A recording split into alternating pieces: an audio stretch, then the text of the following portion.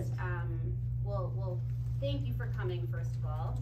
Uh, the purpose of this meeting is a continuation of the meeting on the twenty-third, which was the first listening session for the community and for the residents and for the stakeholders. And, um, we have, uh, gathered all of your input and, um, we're excited to kind of like share back where the conversation has evolved. So, um, and for those of you who were not in the first meeting, spending a little bit of time to get you up to speed as well. And so, um, we'll do a little bit of, uh, of an icebreaker. So Stacy will kick us off and, um, we'll do an activity that helps us to envision a positive future for the community and like gather some of your ideas around that and really setting the tone for partnership and for community input because you have a role in shaping and creating the future of this town. So um, we want to kind of let that be known straight off the bat. Uh, and then we're gonna have uh, Mickey from Huna Corp and uh, Dave, Mayor Dave, up there you are, up at the front of the room to um, spend a little bit of time presenting kind of like the current state of where where are we at with the, the this project and um, uh, respond to some of the themes that have come up in terms of your input. And then we're going to give you time to ask questions. So there are uh, there there'll be some interactive activities on the wall where you can write questions and comments and reactions. And then Mickey and Dave will respond to kind of where your head is at and what your thoughts are. Last time there were a lot of questions, and I could only imagine there are still going to be lots of questions. So we want to give lots of spaciousness to have a conversation tonight. So please lean in. Um, no question is a bad question. We want to hear from you. If there's something that uh, you don't want to ask out in public, you can put it in the anonymous question box right here in the corner of the room on your way out. Um, and then uh, towards the end of the meeting, there are a couple things on the wall that uh, we will have you interact with. One is the mood wall out in the hallway, which you'll see will have some dots on it from last time, and that's kind of just like people's sentiments. And so on your way out, you'll have a, a chance to kind of give your sentiment again. And then there's also an opportunity around uh, gathering your contact information around different points of this process in terms of how you would want to be engaged and involved in some of the conversations around possibilities. So we'll get into some of those things as the meeting goes on, but that is the general flow for the for the evening. Our goal is to be be out of here at the latest at seven, um, and we'll probably finish the the dialogue portion at six forty-five. So the last fifteen minutes, you can interact with the wall, and then Mickey, and then also Russell, who's the the head of Huna, is also here to if you want to introduce yourselves, mingle ask questions and, and get to know them.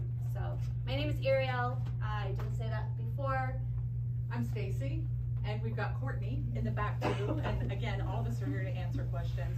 So I need your help, please. And that is to get involved in giving some feedback and maybe maybe using um, showing showing off your wits and humor, if at all, as far as what you what your takeaway for Whittier is. If you wanted people to take something away from Whittier and put it on a t-shirt or a bumper sticker, what would that be? Now I don't just want to lob that out to you and give you nothing to play with. So that's why we're gonna play What's the Tea. So you can, and these are magic post-its by the way, that mm-hmm. I've been very excited about as everybody here knows it's been setting up. So it, for instance, maybe you have something that's kind of heartfelt about Whittier, something like, everyone's a neighbor in Whittier, Alaska. Mm-hmm. Again, imagine like a bumper sticker or a t-shirt or something that's funny or punny and it can be a bad pun. I have a great example here for you for a bad pun. I had a tunnel of fun in Whittier, Alaska. Or something that's site specific like I saw the sound in Whittier, Alaska. And if you don't have something that just comes to mind, if you can't really think of anything, just think of giving a structure like Mad Libs you can fill in the blank, maybe have Whittier, Alaska, home of whatever. I survived blank in Whittier, Alaska. Actually, this exercise, if y'all were in last week's, or not last week, a couple of weeks ago, if you were in the meeting, that was one of the things that was brought up, is that one of the most popular t-shirts at IC Point is the I survived the, Zip rider. the zip rider. Yeah. Yeah, exactly. So it's like the idea was, oh, ha, you could say I survived the tunnel, but maybe there's something else. Again, y'all are from here, so it's what your angle on things that'll give it more meaning. Or what happens in Whittier, blank. It's blown away. There you go, get blown away in Whittier. You got it right there. Um, and that, you need to put on a sticky note and put it up here. Or come for the blank, stay for the blank. So those are ideas if you're kind of trying to hook your mind into something. Now, we're gonna pass out Sharpies and Post-its. We wanna see your ideas up here, and if it helps to get you to write anything down anymore, just know there's some amazing raffle stuff. And looking at the size of the room, your odds, the odds are in your favor. So please input things. We'll have this posted. We'll give you a few minutes right now, and you can start posting things before we kick things off. But this will be up and you can put things up here whenever throughout the meeting. Good? Good.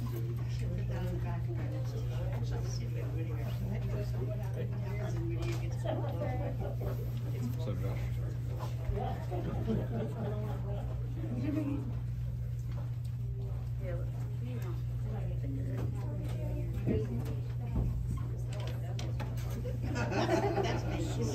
Yay!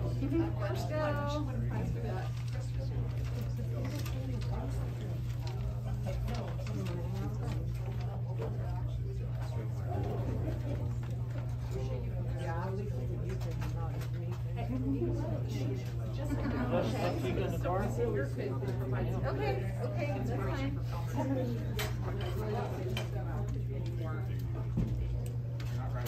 All right, here you go. Nope. Okay. And if you don't want to uh, participate in the activity, like I invite you guys to just, you know, talk to each other if you don't know each other, because this is also about connecting um, and uh, meeting one another. So um, we'll spend about maybe 10 minutes, and then we'll, we'll kind of come back to the. He said, I love you. I can take those up if you want.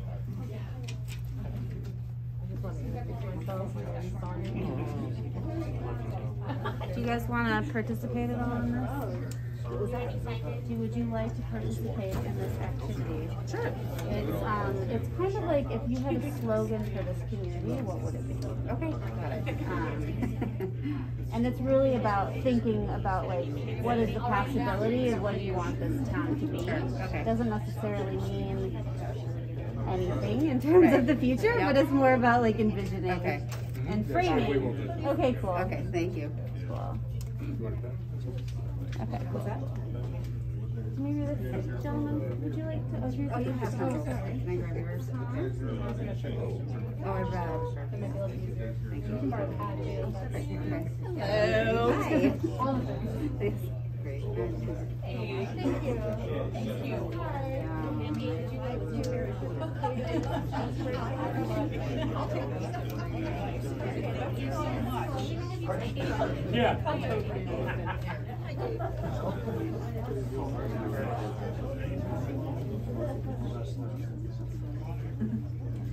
No, it's fine, you guys. No, I- we've already talked about this.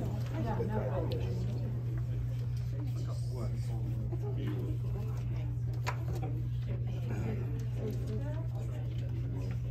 Thank you for making this, Nick. You guys did a great job on the stairs and the sidewalk. That really was appreciated. That- that really- You?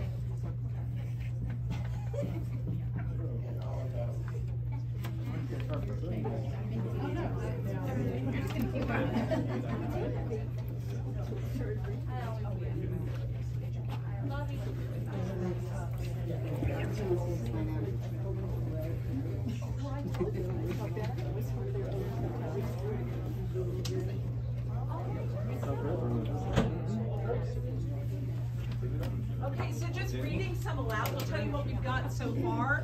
Whittier makes you fly with no parachute. Whittier people touch you back. I'm not hearing that one. Hmm. Tunnel vision, I like it just straight to the point. I met my first have a sea otter in Whittier. newspaper for the Cute. kids for the city That years was a good ago. What happens when name your of it gets now? blown away? We could charge more to leave. Okay, and Whittier helps you sleep with real waterfall dreams. Okay, there's poets in the room, guys. So keep it coming, we're gonna keep, oh, here we go. You can have a whale of a ta- tail in Whittier. Ah, okay. Well, that could go, yeah, okay, that could go anyways. We won't go there, but you could have two different versions, I imagine. Um, so just keep them coming, cause we'll keep, ha- we'll keep the board up here and we'll get to the real part of the conversation.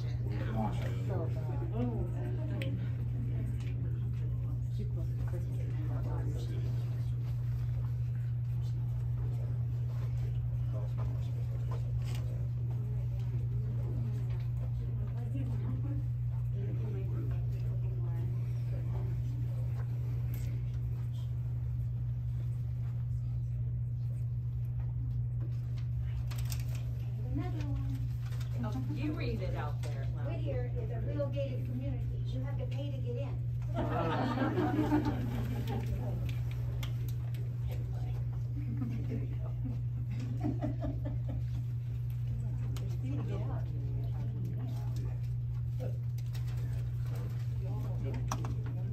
Yeah, we did. We had to pay to get, go both ways.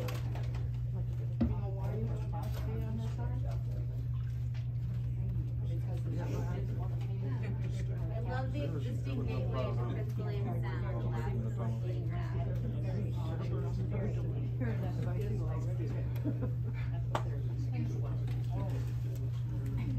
Well, we get better road service because of that.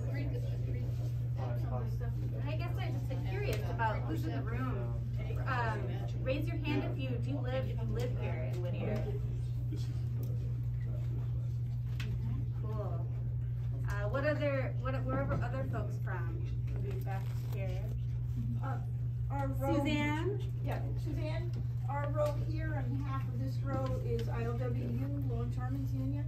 Okay, We have a cool. presence here in town already with the cruise ships, Great, and we expect to have a presence at your facility if it comes to pass. absolutely, yeah. Cool, well, welcome. Thank you for being here. Thank you for coming. In the weather and the snow. Any, anybody else wanna share? Any other groups here? Um, the railroad? Cool. Uh, any, any, anybody else wanna share, just so we get a sense of like who's in the room, connecting each other together? I'm third generation Alaskan. I live between here a little bit to visit my parents and in Bellingham, Washington. So we bought back and forth quite a bit. Oh, cool. Cool. I uh, split my time between uh, Whittier and Homer. Okay, awesome, and you have a business? Yes, I'm a Cito franchise owner. Cool. Alright, well, um, yeah, it's, it's just helpful, I guess, for, for everyone to know who, who's, who's here, and we're grateful for you being here and, um, providing your input and your needs and your wishes and your hesitations and your hopes, so, um, that's the, that's the tone that we wanna set. Also uh, Jim Miller, you know, has been here Jim, for how many years? Thirty, Thirty years. Yep, and, Wow. since nineteen Get up here. ninety-one. It was she owns, uh, several units here get rented out, uh, kind of bed and breakfast. Yeah. And, uh, and then Charlene, uh, is back there. Charlene, how long have you been here?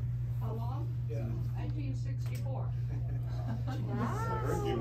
Three, three year posters. Yeah, just, just after the. I left earthquake. And we lived in the harbor on a boat for forty years. She's a raw. Wow, yeah, that's rich history, and did, did you knit some of the, um, Oh, yeah. There are some prizes tonight also, and I think Charlene had a hand in creating some of them, so that's very generous of you, thank you. And I'm back.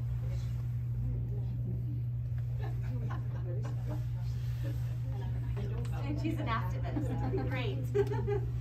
All right, well, um, now that we're kind of somewhat connected to one another and we've been, you know, adding some ideas about the potential of this community, I think it makes sense to hear from Nikki and from Dave. You wanna read that last one up there? I survived the Whittier boat ramp. Nice, nice. Days, that- I mean, that's really saying something. Cool, so, um, take it away, gentlemen, uh, feel free to kind of set the, set the scene for the audience, knowing that we've got different groups of people that have some varying levels of awareness and exposure to this, uh, project. Shall, Dave, shall we sit or stand? Stand for right now, just so everybody can hear real well. I might get tired after a while, man. So just out of curiosity, how many people were here the last meeting out of this group? Were here the last, just show of hands. So we have a few newcomers. So my name is Mickey Richardson and I head up the creative areas at uh, Huna Totem and Icy Strait Point. So it's just an honor to be here today. Also, for those who didn't meet, uh, Russell Dick, who's our CEO of Huna Totem, um, Native Corp, uh, is with Midnight. Uh, also Chris Laddick is, is here as well, works with us. Chris Laddick. Is aw- awesome to, to be here. And, uh, I feel like, Dave, you and I are like coming back and we're like gonna start our own YouTube channel. And we have to welcome the YouTube audience. Um, so glad to have all those that are participating on, online. But, uh, so Dave, how, how do we kick this off? Like, did we tell a few jokes? How do we, how do we roll out? Oh, well, I'm no good at jokes. Is there that list of questions, um, that, uh, Maybe I can give you the themes. Yeah, so they're here on the last. So, I, I don't know, Dave, because I'm sure that, um, uh, we listened a lot in the last meeting. I was surprised because we had boxes, question boxes around, and then we got a list, a long list, Excel list of questions that went into the box. And also, if you looked at the mood board on the outside on the walking in, you might have noticed that we had a lot of I love it, which we love that. And then we also had a lot in the middle that was, I still have questions. So we wanted to make sure that we were really tonight kind of starting to address a lot of those questions, and I'm sure we wrote them down, but Dave, I'm sure you've heard a lot too, since the, the pre-Thanksgiving, Now, what was it, on the twenty-third? 23rd, yeah. Twenty-third, yeah. So, yeah, I mean, a, a lot of the questions were, you know, based around, you know, why are we doing this project? You know, what, what's going on with this project? Why, why, uh, why are we even thinking about it? My response to that was, it's, you know, we're looking for stability, uh, we're looking to secure the future of Whittier. Um, You know, as you know, I mean, every, every town has roads and infrastructure that they need to take care of, right? They've got, uh, streets that they need to pave, they've got water, wastewater systems, uh, that they need to maintain. Ours here are pretty old. Some of it goes back to World War II. And as you can imagine, some of that stuff is fairly expensive to try and, uh, and, and maintain and to redo. So for instance, if we have to repave our streets, and if you've looked at uh, Glacier Avenue lately, you know, that's getting to a point where it's gonna, you need to be repaved here pretty soon.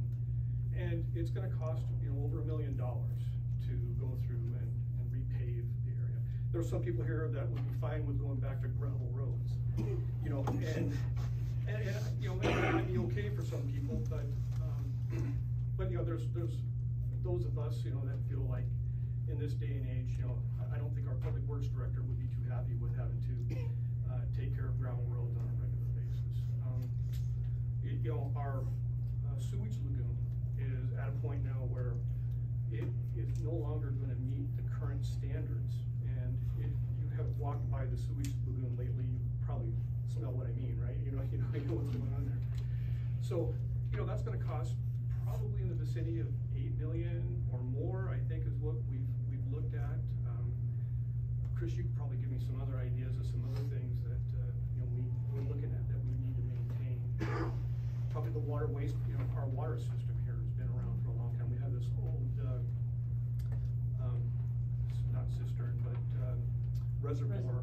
right, you know, that, uh, you know, that, that needs maintenance and so forth. So, you know, there are a lot of things that we need to, to take care of. And, you know, our options are, we could have bond, you know, we could have bonds, I guess, that, we've already got a bond for the harbor for a project that's not even finished at right now, uh, that, that we're still paying on, probably will be paying on for another twenty-five years or more, so.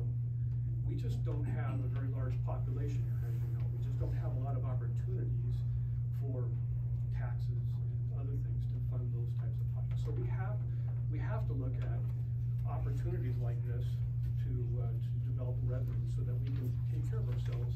And some of these projects may not affect, you know, those of us, you know, guys my age, you know, you know, might not have to deal with this. It's the people 25, 30, 40 years down the road that we have to look at. It- It's our responsibility to look towards the future and make sure that we're not kicking the can down the road. So that's one of the things that uh, I want to make sure of. The second thing is that, um, you know, we've already had, um, our comprehensive plan, you know, we, we looked at, residents here got together and voted for things that they thought that we should do for this community. And, you know, the, the important things that we looked at were developing something up at the head of the bay. Everyone thought that that looked like our best chance of helping to secure our future. Um, so that, that's something that, that as a community, you know, we gathered together and we voted on it. It's, you know, it's still a democracy here. It's, it's one of those things where, you know, the, the majority rules, and, and that is something that the majority of the people here felt was really important. Um, but, uh, but beyond that, then this opportunity has come up, and, I mean, it's just, uh, it, it's something that is just a wonderful opportunity for the city. You know, this is a group of people here done this type of project before, and they are, it's not like dealing with a multinational corporation, right? These are, this is an Alaskan company that have families in Alaska, and, you know, have a culture in Alaska that they're concerned about. Uh, I, I just can't imagine, you know, a better organization to try and work with, uh, to team up with, to help us secure the, the future of Whittier. So. Yeah, could I come back on a couple of things you said? One is, um, you talked about, you know, the, the comprehensive plan. And it kind of reminded me of the map that's up behind us because, you know, we, we being, you know, thinking about the industry and people and flow and all those kinds of things, um, we kind of set forth a little bit of a plan. And then we aligned that with a comprehensive plan and we thought, wow, we've, we, we felt pretty good about ourselves. But the other thing you mentioned was, you know, this is a new project, right? And that the head of the bay has kind of been a long-term thinking, but what actually goes there is really the next phase. And so as we looked at this project, we really talked about what we would call this red area, which is really phase one. And being focused on how do we create the backbone so the comprehensive plan, as Whittier sees it, can be developed on into the future. But creating first that backbone um, and knowing that right now there, if, correct me if I'm wrong, but I believe there's fifty-eight acres, right, that's at, at the head of the bay. And what was this area here that was, uh, called the tank farm, uh, the tank farm area. And what we're really talking about is really phase one, which is, um, the cutouts that you see in red are really uh, approximately five acres of the fifty-eight acres.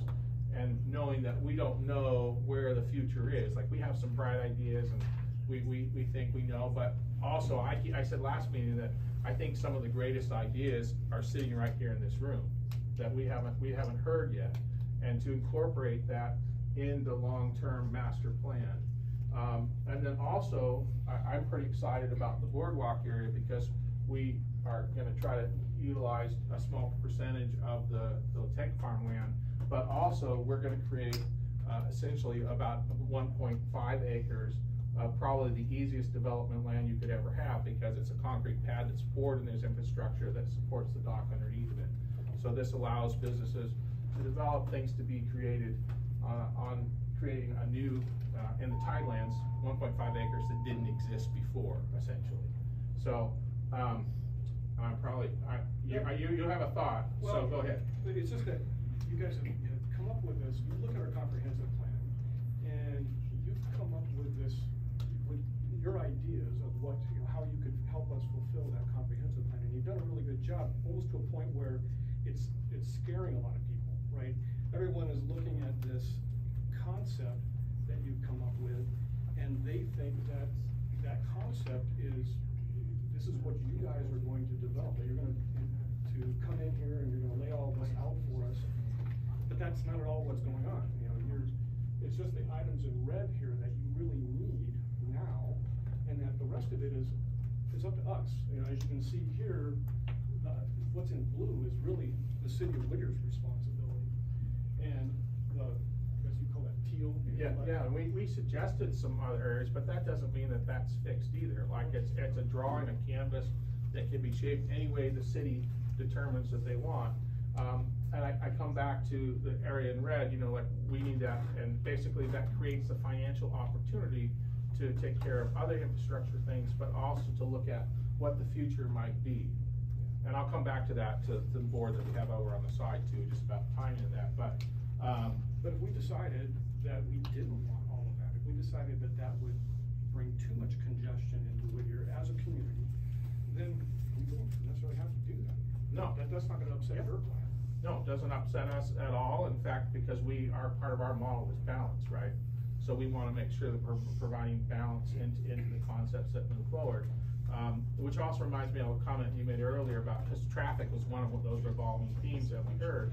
And you had made a, a mention earlier about how, you know, right now you have Princess coming in, the way ships depart and, and what that, that traffic model is and how that affects the community, and maybe you can kind of reiterate for the group what your, your thoughts or feedback. Well, it was, you know, you've already been working with Princess and that, you know, that there's, you realize that there has to be a balance between the amount of traffic that comes in here. That's not gonna be of any benefit to your customers, that they don't wanna get off a boat and have to stand around and wait forever to try and, and get out of here. That, that doesn't make any sense, so you're gonna lose a lot of customers that way really quickly. Um, yeah, we talked about how, uh, that, that, uh, just that cooperation, you know, that, that you'll have with your other partners here, uh, is gonna be really key to the s- success of, of living in this community, right, and, and operating in this community. Yeah, and so, and as we look at it too, as part of our, part of our model is also is having this nice separation from the downtown. And also right now, the facility that's happening, um, over in this area, that you're having guests that are essentially walking across the street and they're looping buses and all those things that are affecting the community. And we're trying to be a little bit smarter about it in that, and as we talked about in the last meeting, our model has always been to make um, not bus parking the center of attention. We always have that, what we call back of the house, right? And so we wanted to have a positive guest experience where they have this waterfront experience, but also that we have a, a train depot is in the phase one because we want them to have a warm, dry place. We call it the train depot, but it really is a community building. Um, a warm, dry place for them to meet, and also there's museum elements in there, things that people will become educated about the area and the environment that they've, they've cruised in or, or will be cruising out of. And then also, like we said, it's always about balance, meaning, um, you know, before, before in the past, we heard there were like zero people coming off the ship and coming into town and spending money. And we heard that that was a desire of the community, like, how do we get a little bit more? So it's about how do we figure out what that balance is, and we had proposed like a trolley system that would take people into town. Now, we proposed it and thought that might be a good idea, but as you figure out how many people you want and where you'd like them to be, all of that is just defined by, by uh, the community. But in the meantime, uh, we have a place that the community can meet, and also that people aren't just, as someone said downtown uh, earlier before the meeting, they said, you know, there was no even standing space for where they were, meeting their train to depart. And we just wanted to make sure that we provide a, a nice, warm, dry, positive experience that also doubled up as a community space as well. Right, so right now, you know, Princess, they, their boats come in just after midnight. And typically, their passengers are gone by, you guys probably know better than me, but, you know, typically by uh, nine o'clock, ten o'clock or so in the morning. And, you know, for a lot of us that, uh, you know, like on a, on a Saturday morning, who, may not get up until nine o'clock or something like that on a, on a, on a weekend, we don't even see, you know, they, they have no impact on our lives whatsoever this is the same thing, right? You know, that the, the timing of these boats, this will be, I mean, even less so because this is gonna be down at the head of the bay rather than, you know, basically right in the core area of town. You know, those boats will probably come in probably right after midnight, something like that, and, and a lot of those people, you know, are gonna get off that boat and they're gonna uh, probably be out of here until some of this other stuff gets developed, if we choose that to happen. Um, it's gonna be the same thing, you know, it's, it's, uh, you know, like I was saying before, you know, right now, uh, it's, the impact is zero right now, well, two times zero is still zero, right? It's, it's still not gonna really affect us that much. It, it's really gonna be up to us to determine, do we want some of those passengers to stick around for a while? Do we wanna have that, what are we gonna develop for them? Are we gonna, do, we really don't want them to cruise around in buses and stare up at, uh, at uh, BTI, you know, like we're in a fishbowl or anything like that. But We can choose to, to limit that if we want to. Um, there are some business owners that are gonna say, no, you know, no, we, we want, you know, our businesses are gonna thrive. We want some, uh, trolley system or something like that to bring some of those in here. But do we want three thousand people to come at a time? Probably not. So there's probably ways that, that they can limit that and, and advertise that and work it out so that it doesn't affect us any more than we really want it to. Yeah, and, um, which made me also think too, that as we were talking last community meeting, there was, you know, the suggestions about how to create flow and traffic to alleviate some of those traffic, and someone, I don't know if the, the lovely lady was here, she just raised her hand and said, can the tunnel open like an hour earlier? And you go, oh yeah, well, if there's more traffic, then that makes sense and a reason to create the revenue that allows that to mm-hmm. happen, but we have to first get through essentially phase one, and then we can say, okay, so where, where do we sit on the traffic flow, and how do we take the input, and then implement those things and the balance that we, we think will work, uh, with the community, that, uh, really not we think, but the collective group, you, you here in Whittier think, um, about how do we make those things happen to make it successful and be the right balance. So, um, Just, I mean, out of curiosity, right now, is there, you know, what, what are the main, can somebody just, if you don't mind, somebody raise your hand and talk about, uh, Suzanne, I think you've got some reservations right now of this project. Could you kind of give a couple of your ideas out there? Um, one of the major ones is gonna be the congestion down there. Um, another one is the, it's, I mean, we know that something's gonna happen down there, but it is our last remaining undisturbed shoreline where we have marine life, we have terrestrial life down there, a lot of animals that people in this town don't even know we have. Um, and will this destroy that? I mean, number one, a gondola does not belong going to the top of Maynard Mountain. It's, it's not a viable place, possibly over on that side, but no. But let's, It's- but but like, let's, that's- that- but gotcha, but one thing at a is the time, big Con- congestion is the, Huge. is, is one of the big things I hear You're a lot. gonna have to build a whole new road system down in there to handle your, your traffic, your flow. Everybody's trying to funnel into that little tunnel. There was a day last summer when there were no TOs out here, or, or the traffic directors. And I think people had gotten off the ferry, or they'd gotten off the Klondike. I was seventy-five cars back, be- Yeah. trying to get to the tunnel, just as a resident, because none of these people knew to pull up into lane one, lane two. So I pulled around all of them. I stuck my head, I said, what are you guys doing? Well, we don't know. I talked to some guy who didn't speak read. English, and so I pulled around all of them. I got between a sports car and a pickup truck, and I went right up into lane three. And they all followed me like lemons. Yeah, and just remember that, you know, right now, part of the problems, so a lot of the problems that we've had is we simply don't have the resources here, right? We don't. We, we just don't. You don't. Uh, This is how we get those resources, right? Uh, That's what you have to understand. This, this type of project will develop the type of revenue that we need to have those revenues to solve our existing problems. You know, not just, you know, securing our future, but that'll help us solve some of those existing problems. You also mentioned the, the, the ba- the shore down there. And I, I probably build more bonfires down there than just about anybody. I mean, when I, I'm usually the only one down there, or my group of friends, I'm usually the first one there, I'm usually the last one to leave. Uh, Trust me, you know, that's been a big concern of mine as well.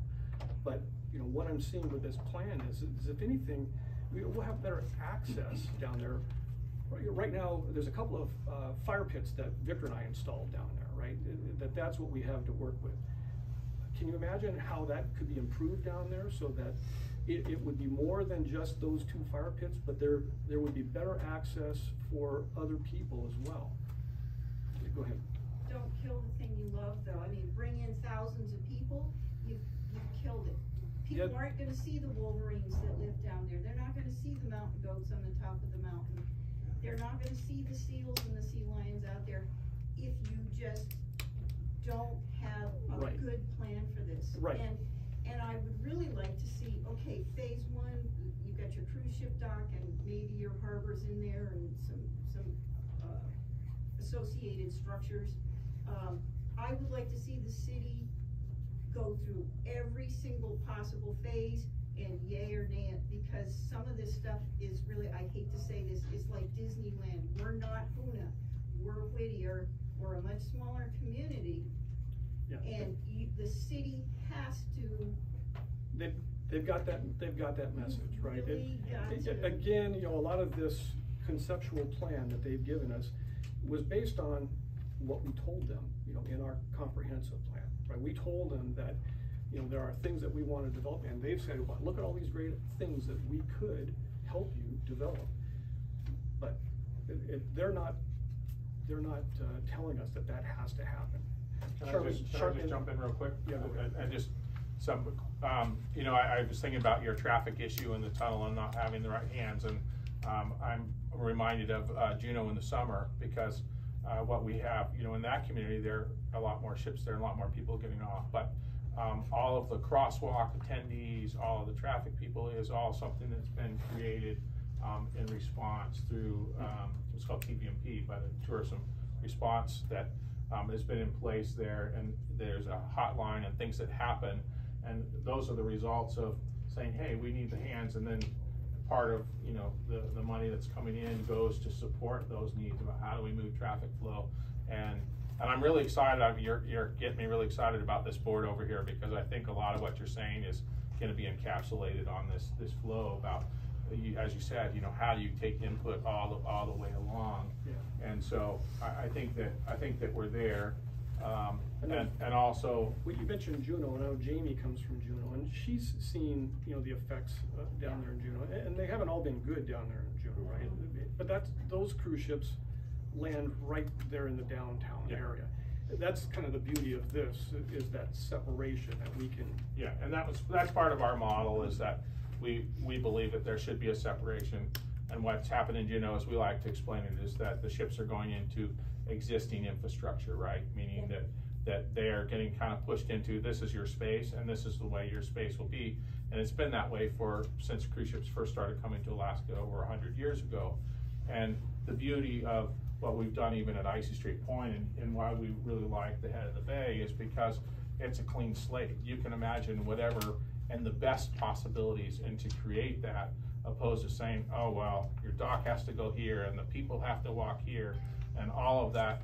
And also, the other thing I would point out too is that, um, one, because I live in Juneau, and one of, one of the downsides is that a lot of what happens in that area is not reflected by the community, meaning, like, for example, at Icy Strait Point, all of our retail shops have to be Alaskan owned, we don't allow them. And that, that basically changes when you say, you know what, if there's gonna be a business here, somebody who lives here locally can own that and operate that, and it's gonna affect their family and affect their future, opposed to having like, uh, an international diamond reseller there. Yeah. Like, we, we would like to say that let's, this is an area for the community to develop and figure that out, so. Charlene, I saw you raise your hand for a second, did you have a comment? Just one, just one, yeah. Well, yeah, you know, I've, I've lived here long enough, and surprisingly, we have had development here. But it's haphazard development, it has not been organized development. And, uh, at one time, I actually had the money in hand to build the ramps at the head of the bay. It was shovel ready, everybody had approved it, DNR, the whole schmear. And the last minute, they took the money away from the head of the bay to repair the east launch ramp. Rather than going out and finding the money to do the launch ramp, they just grabbed a pot of money that was there. So, and I know that Dave and I both have watched this. I have been through a lot of development, and this, I consider this probably the last chance to Whittier to control the development that's happening in its community. It's, uh, it's been just, it, it's just not, and we've had master plans, but people, uh, take those master plans, we have new city managers, new council, new this, and nothing ever gets done with it. Yeah, yeah, we have had a, a lot of turnover in that, that, And lots of millions of dollars spent on studies at the head of the bay, which, uh, it has to be done. But there are, but if we don't protect that, and that all becomes to the point where Smitty's Cove is now gone. If you were ever here, when you seen Smitty's Cove, it was the most beautiful little grotto you ever saw. Now it's a junk hole. It's destroyed. And our kids used to go down, their families did picnics. Waikiki Beach, gone. If we don't do something up at the head of the bay, that's not only gonna be good for our tourism and our community, but a place where our people can go, Whittier is going to be landlocked. That's our last chance to make sure that Whittier has access to our waters. yeah, Charlene, you mentioned, you mentioned tourism and, it- you know, the state of Alaska, as a, a lot of us know, is uh, really dependent upon oil for revenue. I think it's like 85, 90 percent of our, our revenue in the state is developed from oil taxes. And, you know, we've talked for a long time about, you know, what do we do, you know, as oil goes away? You know, what's the next step? And, you know, the first thing that comes up is tourism. You know, how do tourists get to Alaska? Well, they, they get here either by plane or they get here by cruise ship, you know. from- And this is kind of our way of being able to help, you know, to contribute to that, right? This is kind of one of our, our ways of being able to contribute away from oil dependency here in Alaska. And it, and the, the tourism can be controlled. It doesn't have to have open to everything. Because we know that Whittier is, is a small community and only so many people can come in. And that has to be controlled. Uh, whether, I don't care, so it's, it's a state or a federal highway, it doesn't matter. We can only put so many people in here, like the fire marshal says, only so many people in a building unless we do something like getting that dirt mover in here that gobbles up holes and gets it put back in so we have more than one lane. But Whittier has got to, it, this needs to go step by step with the community. And, uh, I'm, this is our last chance to make sure, cause what's gonna happen, if this doesn't happen, other people are gonna come in here and they're gonna do it for us. I Or, mean, or we they'll just look at people- uh, the fact that we bypass this opportunity, and they're gonna say, Yeah, we yeah, have- we forget it, you know, have- these guys are never going to accept anything. Hang on just a second, uh, Suzanne, I just wanna go through some of these, um, make sure that everyone understands that we have heard a lot of these issues, and I just wanna catch on, touch on these themes real quick. Um, you know, that, that there has been, at least from the residents, you know, there's been a lot of positive reactions from residents, people that understand our current situation and understand, you know, what our needs are gonna be in the future.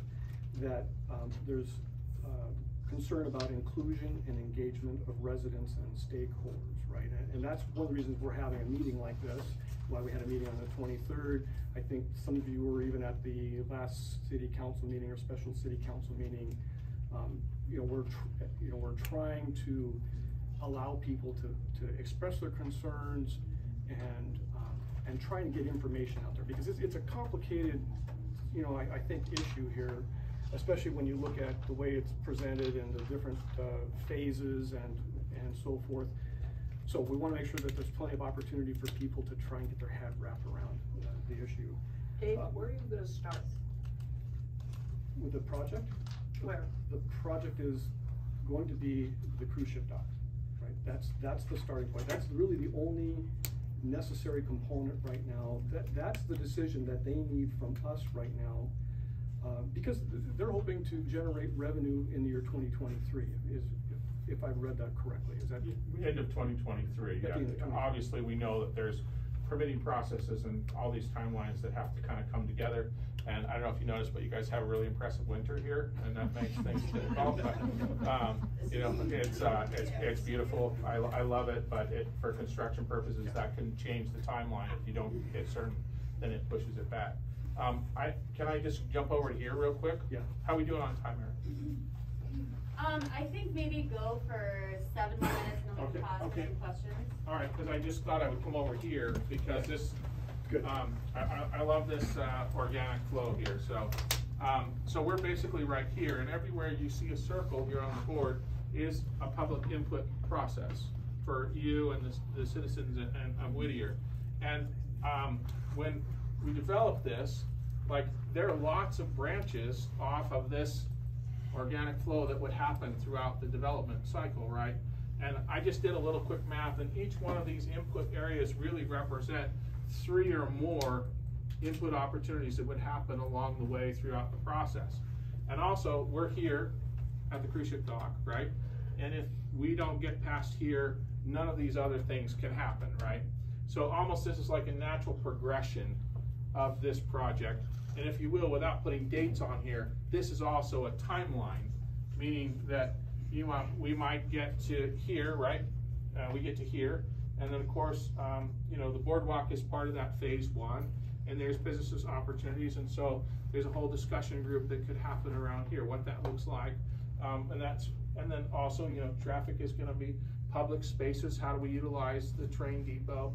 And so everywhere here is an opportunity to have another, as you said, there's a series of input opportunities for everyone to contribute to what the vision moving forward, but knowing that this is really phase one, and if we don't get past phase one, then there's no need to have all these other beautiful conversations along the way, because, um, you have to have the revenue that's created from the, from the cruise ship infrastructure there.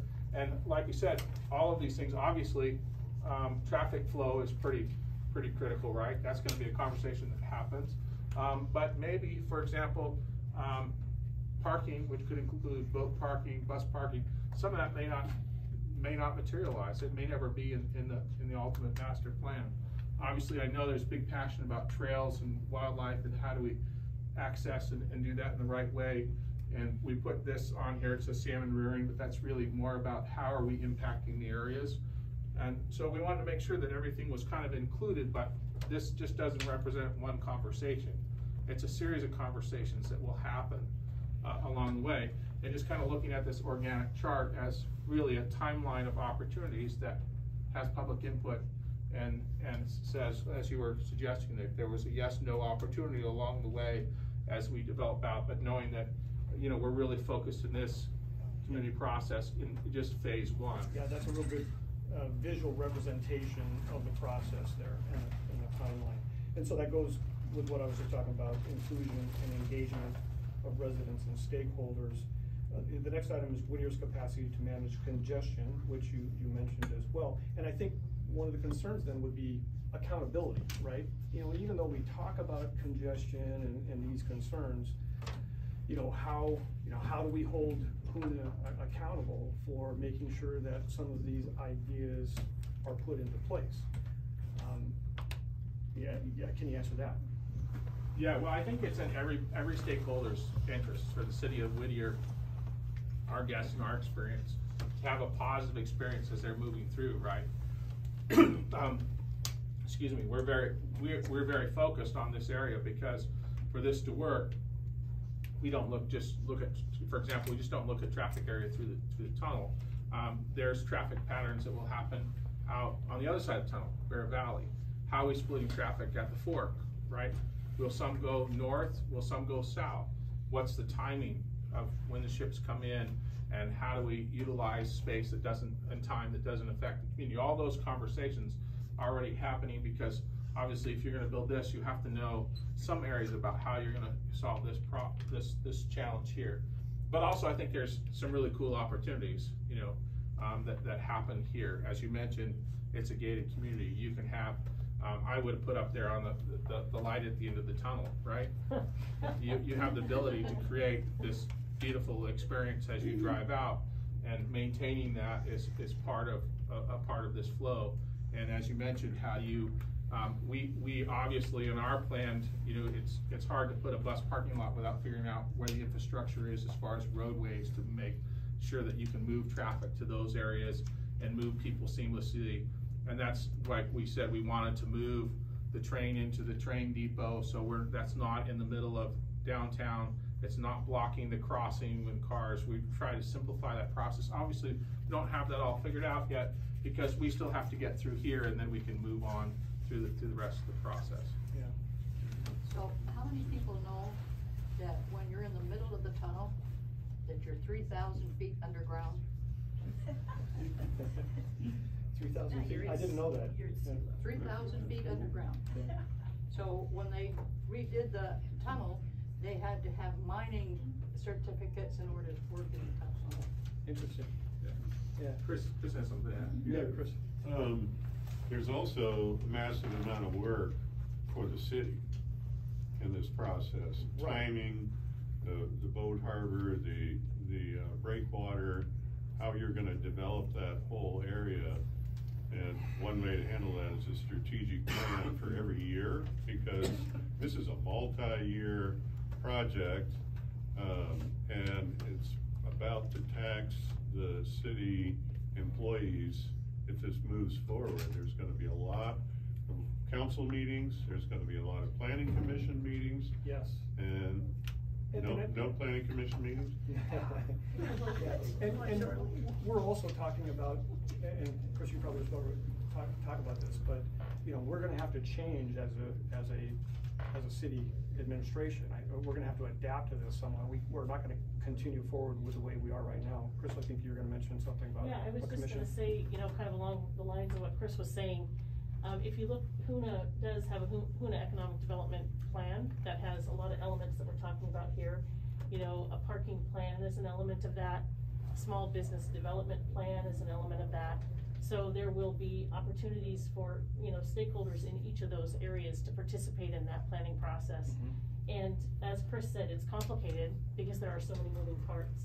But that's what I love about this graphic, is it kind of gives those of us that aren't very visual, that really nice, um, you know, way of seeing at where those decision points are and then what we need to do to plan ahead for those. Yeah. And, and Chris, can I, can I just take it to eleven for one second? Yeah. Um, and because that's why we have these little clever envelopes here. Um, and that is that because, um, as Chris had talked about this, this process is that, you know, um, I'm sure, I'm, forgot your first name. Trey. Trey, I'm sure Trey is, is very interested in this part, right? But you're probably not so interested in community spaces. I don't know, I'm just guessing, maybe you. Right, But, um, and that's why we have the little lovely cards, is that Trey could say, I wanna be in this conversation here. And really just having a way so that you're, know that you're gonna be included with the city in the process, is you just put your name and the most convenient way you like to be contacted, whether that be a, like a cell number or email address, and then you just put it in the, afterwards. So it's, it's a, it's a lovely graphic, um, but also it serves a purpose so that, um, everyone can participate in the areas that they would like to participate. And I'll come back to also what Chris was saying is that, um, if we look at this and we say, just this for us is really, we're looking at two and a half to three-year process, right? To just make this happen. It could take many moons to get to this, right? Because there's gonna be process along the way and input along the way. And also, um, there might be, as we said earlier, there might be some other ideas that come in and fill in these other spaces. So that you say, hey, we're missing something and we need to make sure that we're including in the other. Yeah. So, um, this, this is a, is, this, this board is only eight feet long, but it represents, um, a lot of time That- and a lot is- of work. That is one of the comments that I've heard though, is some people feel that, you know, we're putting the cart before the horse. We should have this plan fully developed before, you know, we commit to anything like this. And the problem is, is that, you know, you'll, you- we could, know, let's just say that we could develop a plan right here. It'll get changed fifty times by the time we got to the end. There's no way you could fully develop a plan first, ahead of time. I think with that, that process just is, is one that will evolve as we do more studies, as permitting comes through, we'll figure out what, uh, what's possible, what's not possible, and that'll help lead those discussions, but I, I don't think we're putting the cart before the horse. I think that this, this, uh, first initial phase is what gets us started, and then we can start looking at what the possibilities are. Suzanne, real quick, I gotta keep going on this. Yeah, I, can I just, just Have real, you, have you started an environmental impact statement? Has any of that work been started? Is it been No, looked because we don't have a commitment yet, right? And are you making a decision at the next city council meeting, or is this gonna continue going? Are you gonna? We'll, we'll make a decision at the next city council meeting as to whether or not we wanna continue with the phase one, of the, only the phase one of this project, right? That, that is where the goal is right now, is do we see this as a, as a viable opportunity for us, a viable option for us? Is the community behind it? Does the community feel like we've got that, that phase one even if we just limit it to phase one, does the community see that that is our path to the future for the city of Whittier? That's all that we have to decide on, and that will let them start that process of getting the environmental studies, the permitting process, and those kind of things. So Dave, that's been the problem in the past, is that a big picture and no place to start. No place to start, but now we have a place to start. Right. yeah, Yeah, I just, can I just, Go ahead. just two things. Um, we call it, we call it Una, the story, right? Which is, um, we may not know all of the elements, right? But we know what the story should look like. And with Whittier, you have the comprehensive plan, which is the baseline for your story, right? Right. And what gets developed along the way, uh, might change, but we have a general sense of where the story is going. And that's a good plan that was set forth in the comprehensive plan. And we'd say, you know, one thing that we don't wanna let go in our development process that is the core of our story, right? Yeah. Is we're gonna carry that story all the way through, because otherwise it becomes disjointed. And as you say, you start one process and then it stops and it never moves forward because you lost sight of what the original story was supposed to be. 2022 Yeah. thousand and twenty-two is the time we look at the, at the comprehensive plan every two years and change it every five. Yeah, so, um, and also, you know, uh, it, it's, it's great and, but you also have to have a financial commitment to make those things move forward as you found out. You know, so that's part, part of what we bring to phase one. Right, so, so right now, we're just looking at, at phase one, we realize that phase one is gonna generate the, the property taxes, the CPV funds, the things that, um, we're gonna need to be able to, continue, you know, for the city to be able to survive and be able to pave streets and be able to take care of things in the future. The rest of it will develop along the way, as needed, and again, you know, uh, Princess has very little impact on us right now. You know, phase one overall is gonna have very little impact on the, the, the residents of the city of Whittier. Um, So, two times zero is zero, right, it's still gonna be very little impact. Yeah, Dave, you have a quick, quick? Yeah, if, uh, Russell, right? Uh, Mickey, I'm Mickey, okay, great.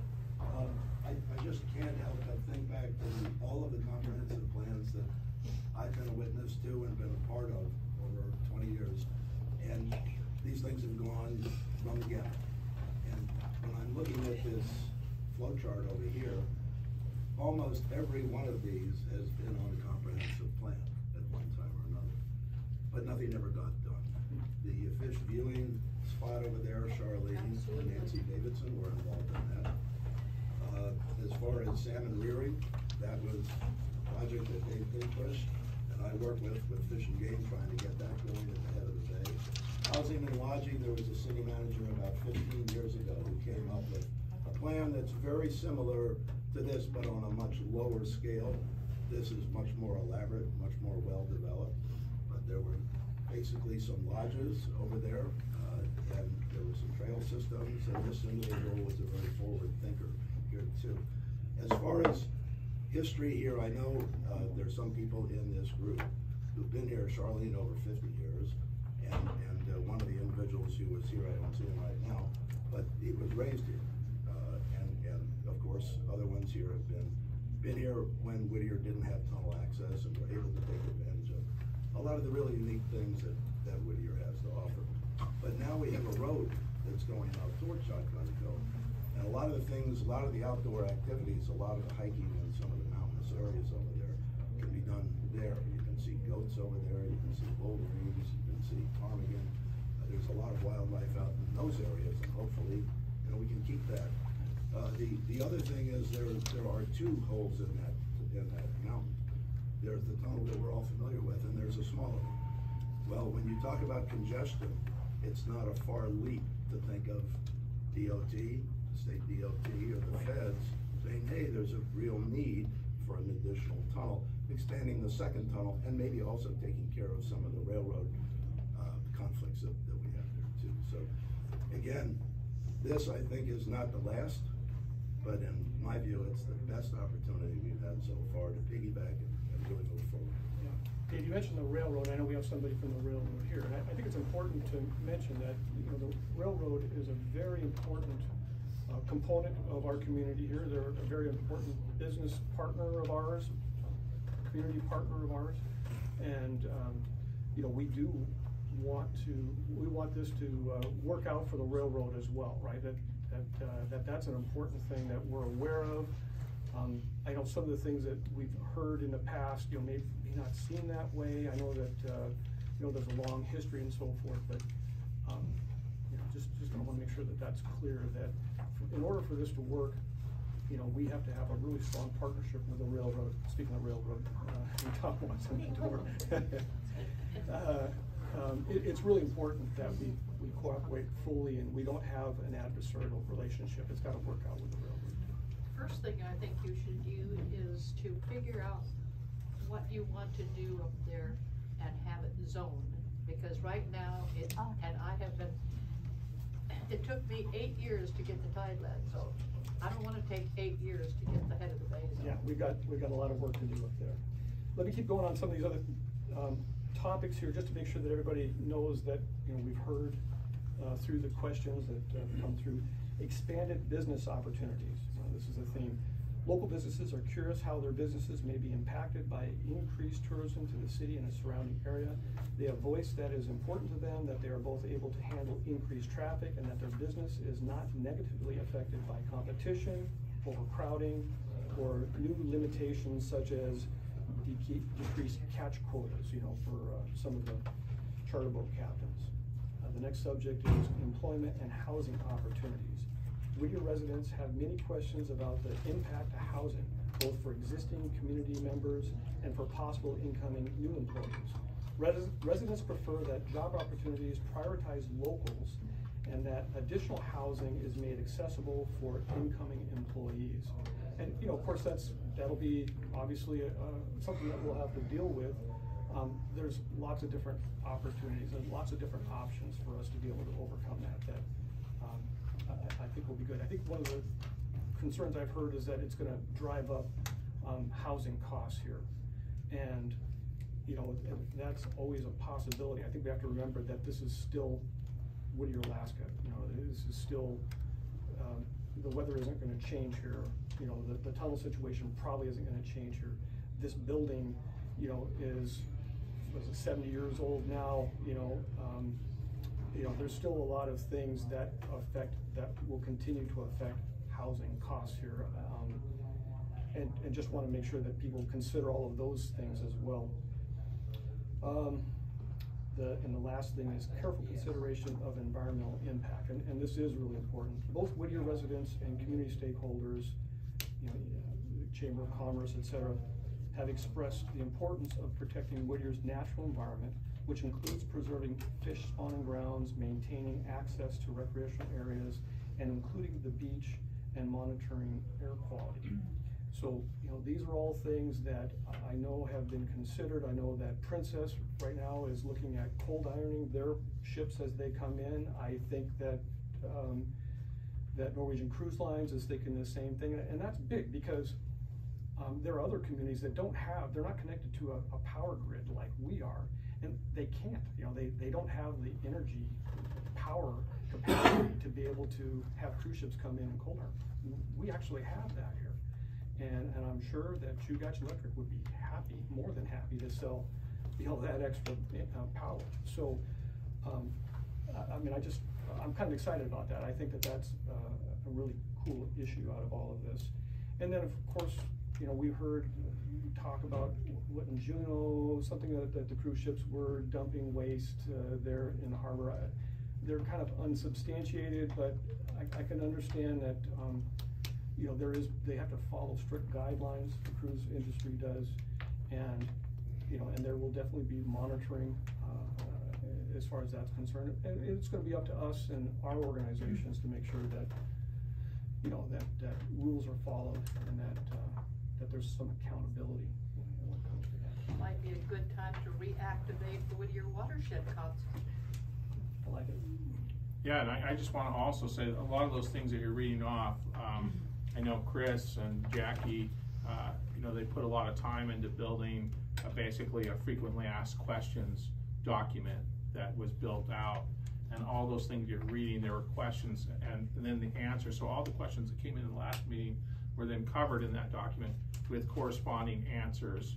And even the environmental one, uh, cause I got that one kicked over as well, as I put in there three different great resources to read about what happened in Ketchikan when they were studying fecal matter because they thought that was coming from a ship and it turns out that it wasn't. They did some DNA testing and it, it's not from a ship. Um, but there, the, as we looked at those issues and then also emissions and where the future of the industry is going, um, and also about, I don't know that, uh, many people know that every ship that comes to Alaska has an Alaskan pilot on board. And part of their job is to monitor the systems, and that's how they were discovered that, you know, sometimes you have some bad apples and they try to cut corners. Um, obviously they were caught, it was, there's an article that's from, uh, Alaska that, um, talks about the carnival incident, and they were charged forty million dollars, and the judge put a pretty hefty fine on them and said, you know, if this happens again, basically all of your ships, that means Carnival, the funnel brand, as I call it, the fun ships, you know, Holland, Princess would all no longer be allowed to sail in US waters. So there was some pretty strict, um, meaningful meat that was put on that judgment against them. So I put that article in there so you can read all those things, and also I really encourage, um, the sustainability plan, because as all, as this industry moves forward, every year they have milestones that they have to hit. And like you were saying, having shore power is one of those milestones that is expected and will cut in the future some cruise ports from no longer being viable because you have to have, um, by, to reduce your emissions, you have to be able to shut that ship off when you're in port. Yeah, I- So I- that's, yeah. that's really important to the future of the industry. And that sustainability, uh, document talks about the other things they're doing about oceans and programs they're supporting here in Alaska, as well as the, the technology that's being installed in each ship and how that's changed and those things that are looking forward, you know, over the next ten plus years. Yeah, I realize I just threw out that term, uh, cold ironing, and that, it gives, yeah, just, you kind of explained it, that that is when ships come into port, and that they don't have to run their generators, uh, and that their emissions, right, are, are not uh, polluting the air, so, yeah, glad you made that more clear. Yep, um, how we So- doing on time? Yeah, so we'll, actually, it's a perfect time just for a quick, um, pause and have you write down some of your questions, some of your reactions. Um, we're gonna just spend, cause that allows us to get more input from you all at once. And so if you have a question, I see a couple hands up, um, please put it, uh, even if you wanna turn to somebody and kind of process a little bit of what you're hearing to help, uh, give you some ideas to put on post-its. Um, we'd like you to, uh, you can put them here, up here at the front of the room, or you can put them back here on the good questions wall. And so we're gonna just spend about a ten minute, ten minute period, and then we're gonna reconvene with a second kind of round of Q and A before Yep, we. and, and for those that are online as well, um, look here to the camera. Um, We would like for you to post your questions online as well, so post your questions and then we'll take some questions online and then from the board in the room. So ten minutes and that allows us to go to the rest of And the. and Jackie, a lot of this stuff is gonna be posted on our website, correct? Yes, um, after, after tonight's meeting, we'll take when- whatever questions have been given for this evening, add them to our questions and answers, and there will be a link on our webpage, and we'll make sure social media wise. WhittieraLaska.gov. WhittieraLaska.gov. We'll come back. Is that where I find you? And please don't hesitate to throw questions up here. Where do I get yours? Um, WhittieraLaska.gov. Streaming right now? And we have on our face, on our webpage, we have a social media, you can click on it, it'll take you right to you. Any questions? It's fun to have us all so that you can engage.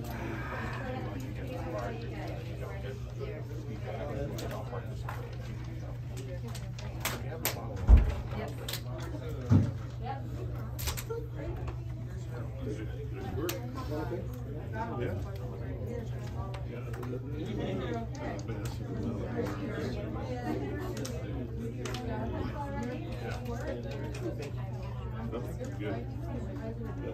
all good.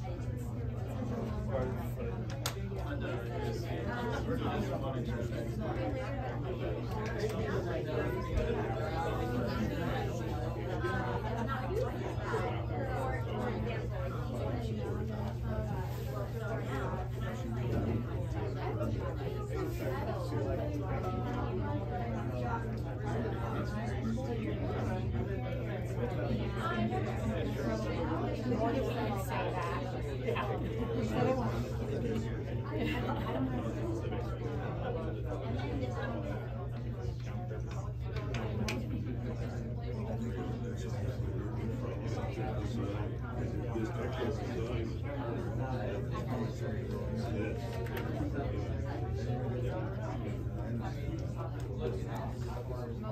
you.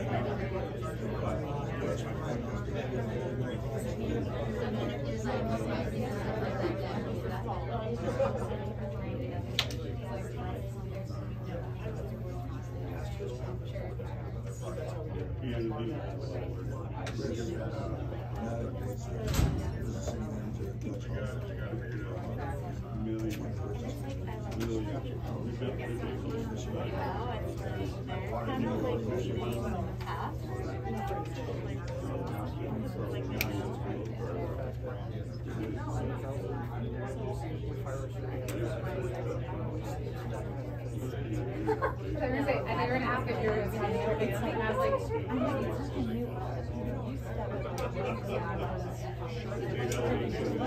I can't figure out. Gonna guess it's.